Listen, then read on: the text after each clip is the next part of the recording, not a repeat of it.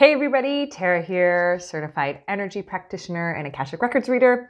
And I wanted to talk to you about a phase that I'm in that I like to call a reevaluation point.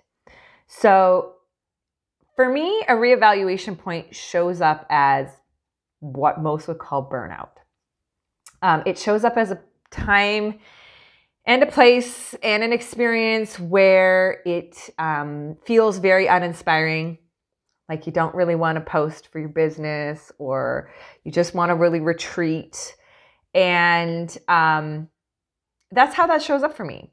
I feel like sometimes my client base kind of retracts as well um, and i retract at the same time and it looks like burnout. It looks like it just i just want to be alone. Um, it feels like i'm really uninspired it feels very restless it feels very anxious and so this I have deemed as a reevaluation point.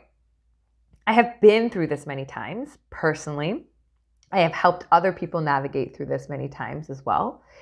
And it is a reevaluation point because what I have found through my own experience and through helping others is that when you lean into that time and you take that time to retreat, to not post. Trust me, if you've got a business and you don't post, it's not going anywhere. You'll be fine. Everyone will be fine. It's all going to be fine. Don't worry about the algorithms. It's going to be fine.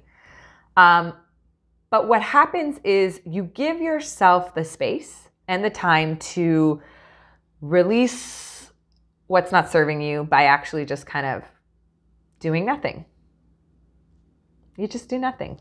That's been my experience. You work, you give yourself permission to work through it by finding other things that bring you joy, by redirecting your attention. Sometimes we're just too focused on one thing that we cannot see the things that are beside us. So when I get in these points and my calendar isn't so full, I'm not focusing on, oh my God, where are my clients? My calendar is not full. And I'm not focusing on, oh crap, I don't even feel inspired to put out a new offering. Like I just, I don't even look at that. I go into what do I need? What do I need right now? Because when I go into what do I need and I start to play there, I begin to go through that reevaluation period and recognize, like, oh, I outgrew that offering.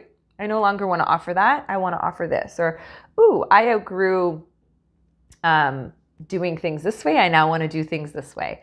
So I am telling you this because if you are feeling this, if you are experiencing this, know that it is a re-evaluation point. It is here for you to serve you and to ask you to reevaluate what is going on in your life, to reevaluate what is in your values and alignment with yourself and what is not, and to um, course correct maybe or point your energy in a different direction. So just know that it's okay to be in this space. Um, and if you need some guidance and you find it difficult or you find it really anxious to be in that space, to reach out. There are people that have been in this space, that know this space, and that can help you in this space because when you eva- reevaluate, you always up level. So, happy up leveling.